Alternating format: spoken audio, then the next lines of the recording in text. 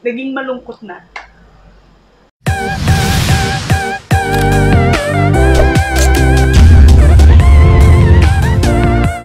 Hey guys! So, bago kukunin yung first YouTube sweldo ko, uy, may sweldo na siya. Balikan muna natin kung bakit nga ba ako nag-vlog and kung kailan ako nag-start. Nung maliit ako, um, yung brother ng mama ko, si Tito Gideon, hello po, um, meron siyang video and photography business.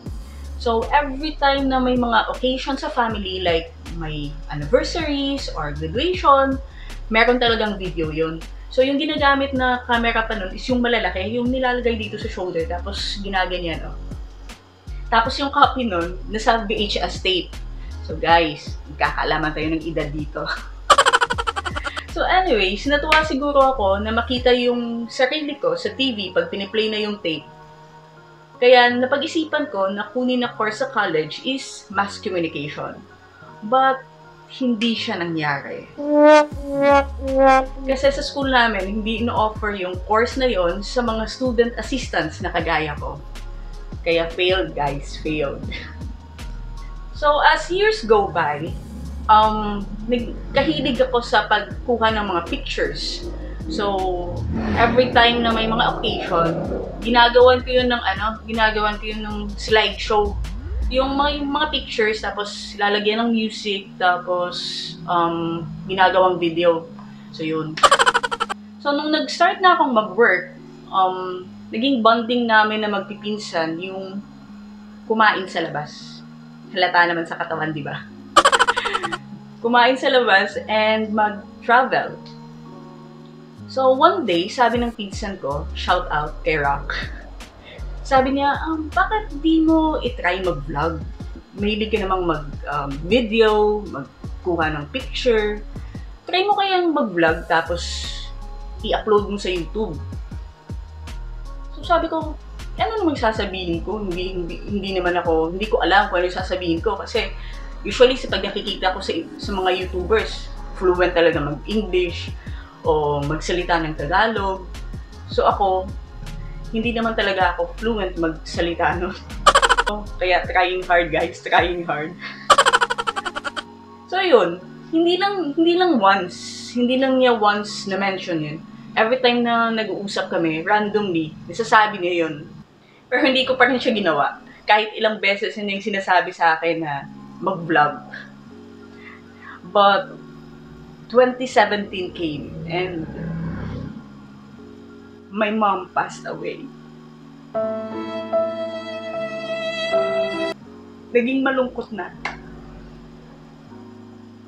Andiyan naman yung andiyan naman yung papa ng kapatid ko pero iba pa rin pag nanay yung nawala. Kasi every time na nagta-travel ako, pag uwi ko, siya talaga yung very excited na malaman kung ano yung experience ko, ano ba yung mga kinain ko doon.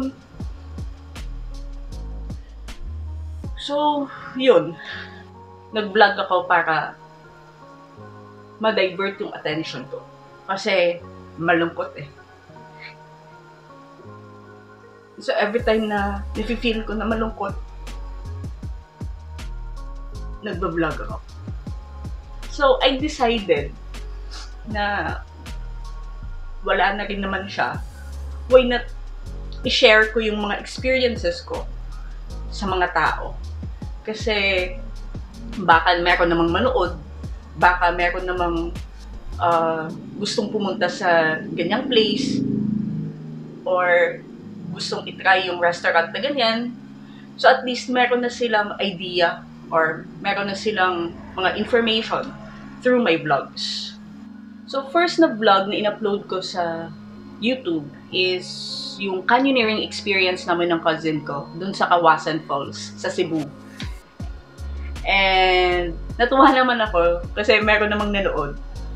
But hindi consistent yung pag-upload ko ng vlogs kasi meron naman akong regular job. So, minsan hindi ko nababalance yung time ko.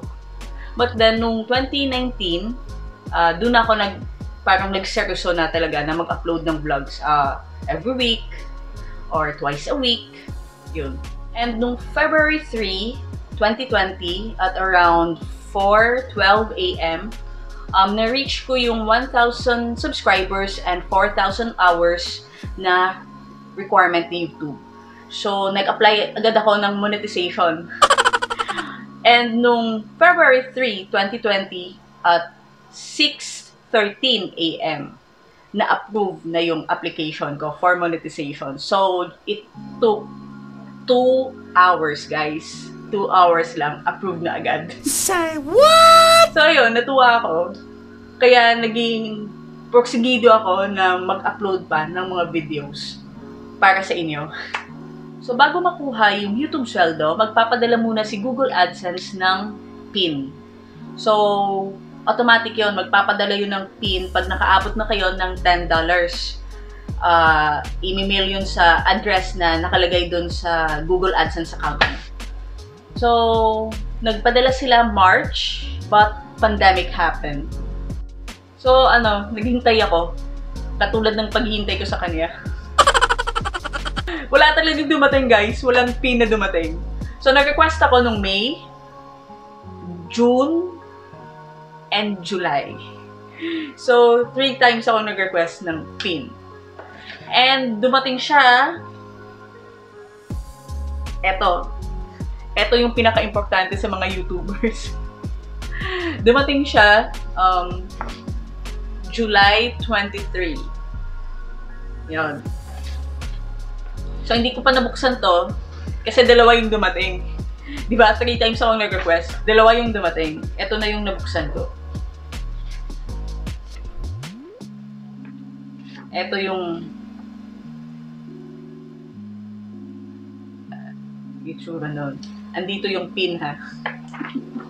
Pag naabuti na yung $100 na threshold, automatic na na magpapadala si Google AdSense ng sweldo every 21st of the month. Yung payment method na pinili ko is through Western Union. And nagpadala na si Google AdSense ng MTCN dahil 21 na ngayon.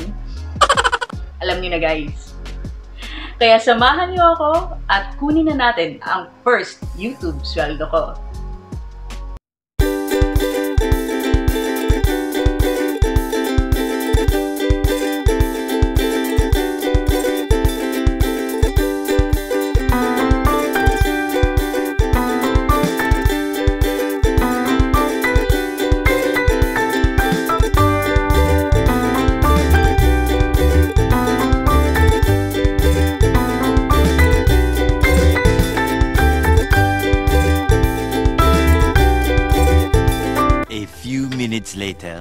So this is some mem- one of the members of the IVCC dati. So this is ano ano yung channel mo? Share vlog. Shane Vlogs. Okay, sige. So this is it pansit. Ito na yung first sweldo ko sa YouTube. So yun na nga guys, nakuha ko na yung first YouTube sweldo ko. And kahit na nasa pandemic tayo ngayon, may mga blessings rin naman na dumating when it comes sa pag-vlog. Like this year, na-monetize ako uh, nung nag-join ako ng Best Ilonggo Vlogger dito sa Iloilo City, um, nasa top 8 ako. And yung big break para sa akin is yung napasama ako sa isang episode ng I Wonder ng GMA News TV. And ngayon nga, nakuha ko na yung first YouTube sweldo ko. Walang YouTube sweldo kung wala kayo. Kaya from the bottom of my heart, heart, I want to thank all of you um, sa mga subscribers ko, sa mga viewers, please huwag niyong skip yung ads. Sa family ko, sa mga relatives ko, especially sa mga cousins ko, um, sa IVCC officers and members, sa mga business owners na tumulong and nagtiwala sa akin, and sa lahat-lahat. Maraming maraming salamat po sa inyo. So, if you guys like this video, please give it a thumbs up And don't forget to subscribe. See you on the next one. Bye!